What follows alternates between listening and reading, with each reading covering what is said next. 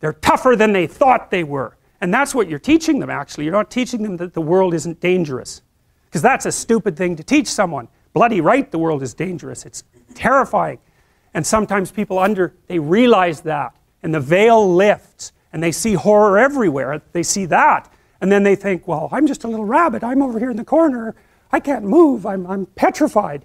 And then they can't move. They hide at home. They cower at home because everything has become a predatory domain. And so what you teach them is you're not as much of a rabbit as you think. And part of that is that you help them grow some teeth so that they can go home and have that fight with their husband that they should have had 25 years ago. And it happens very frequently with agoraphobic clients that you get them so they can go on the damn elevator and they can go on the subway and they can take a taxi. And maybe they learn to drive. Wow. They get some autonomy and then they're a little tougher and so then they can stand up them, for themselves and they go back and like their husband might not be very happy with any of this. Really, it depends on what sort of guy he is. You know, if he's a real tyrant, he might be just perfectly happy that he's married to someone who, you know, is afraid of her own shadow because then she won't ever leave. And so that's a nasty little story, and believe me, it's not uncommon. So she gets tougher by facing what she fears. And what she finds out is there's a hell of a lot more to her than she thought. And that's really what happens when you do behavior therapy with someone who's agoraphobic. It isn't really that they get less afraid, it's that they get braver. That's way different. It's because brave is alert and able to cope. Naive is there's no danger. It's like, oh, yeah, right, there's no danger. Jesus, what a stupid theory that is. So, anyways, that's what all this is. That's, that's the story, man, and it's a, it's a major story. It's the story of human transformation and growth. It's the evol evolution of mankind. It's like it's a major story. And we've been working on the damn thing for like, God only knows how long. You know, snakes and primates co evolved, and our vision, our sharp, sharp, sharp vision, seems to have been an evolutionary adaptation forced on us by the presence of predatory snakes. And we're talking tens of millions of years ago. And human beings have unbelievably sharp eyesight. The only thing that can outsee us is birds of prey. And they have, uh, like an eagle, a, bald eagle, has eyes as big as ours, and it has two foveas. The fovea is the central part of the vision. So an, an eagle is all eyes, man. And so, but human beings, we're kind of like that too. And like half our brain is devoted to visual processing. We have acute vision. In Madagascar, where there are primates with no predatory snakes, they're lemurs, they can't see worth a damn. And an anthropologist named Lynne Isbell did a uh, comprehensive study worldwide trying to account for the acuity of primate vision. And what she found was that the more predatory snakes in the vicinity, the sharper the eyesight of the primates. And so we have a really sharp eyesight. So that means a lot of us were eaten by snakes. And none of your ancestors, fortunately, because otherwise you wouldn't be here, but a lot of those who fell by the wayside were snake snack. And, you know, when you're little and living in a tree, a snake is no damn joke. And even now, lots of people get bitten by snakes, and people are phobic of snakes at quite a rate. And some of that actually seems innate. There's arguments about psycho between psychologists about this, but even the ones who don't accept the fact that it's innate accept the fact that you can make someone afraid of a snake by conditioning just like that, where trying to make them afraid of a flower by conditioning is really, really hard.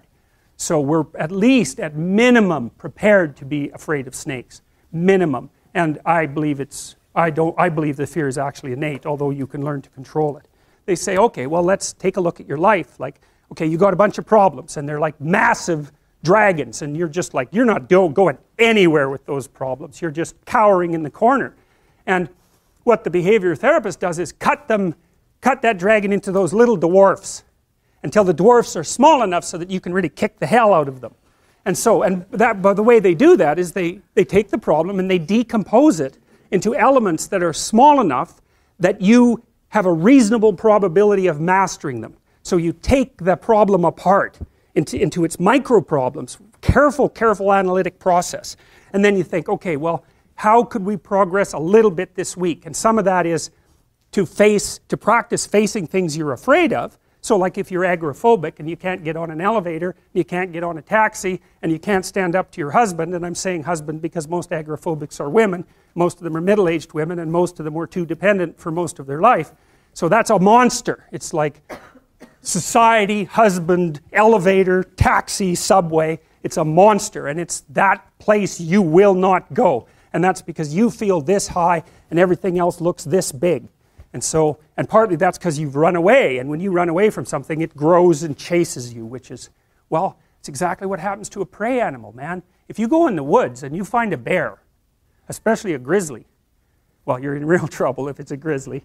But if it's a black bear, you know, generally speaking, if you stand your ground and make a hell of a lot of noise, that thing will leave you alone.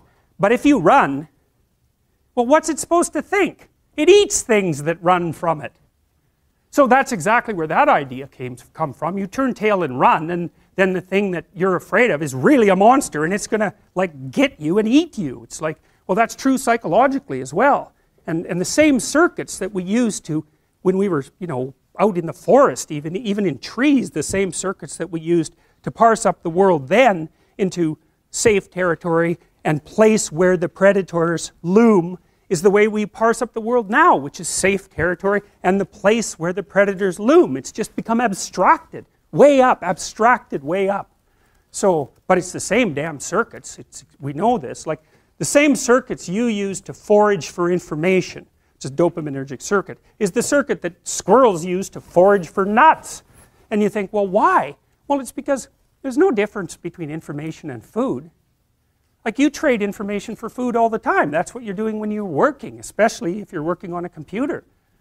So the idea that there's, there's an equation between information and food, it's like, well, obviously, obviously there's an equation between them. So of course you'd use the same circuits. And I mean, the damn squirrel has to remember where the nuts are. And so for him, information is food, even. So, and what happened to human beings is that we started thinking, hey, maybe it's better to go after information than it is to go after food. Because going after information produces more food than just going after food. And so that was a pretty damn smart idea, and so we're still doing that. So, anyways, this is what you're supposed to be doing. And so.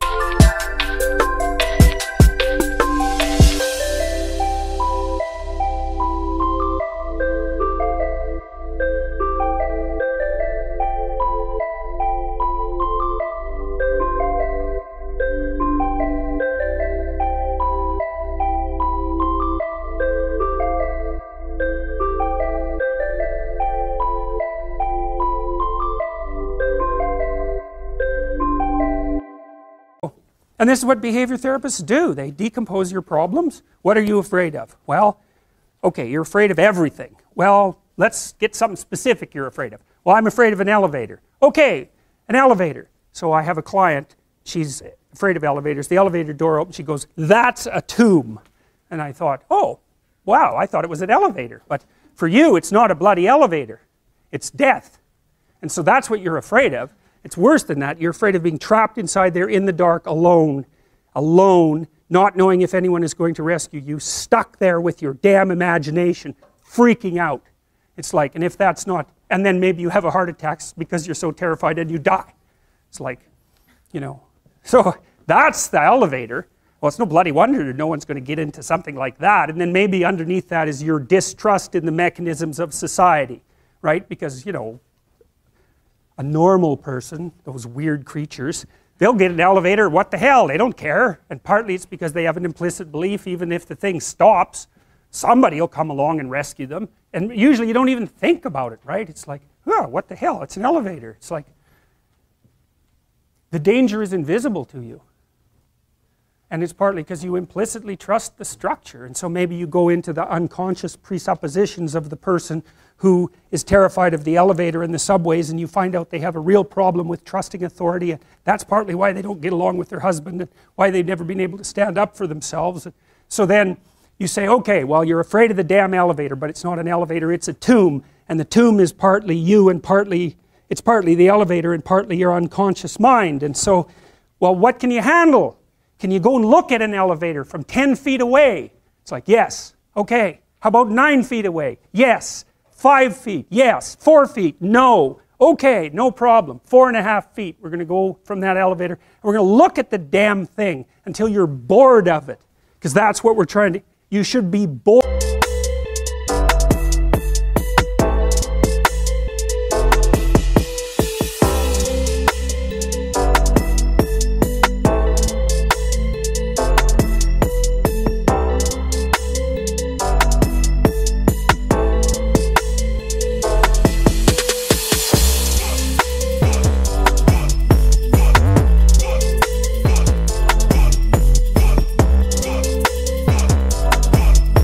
Of the elevator because then you're not afraid of it obviously. It's like it's an elevator.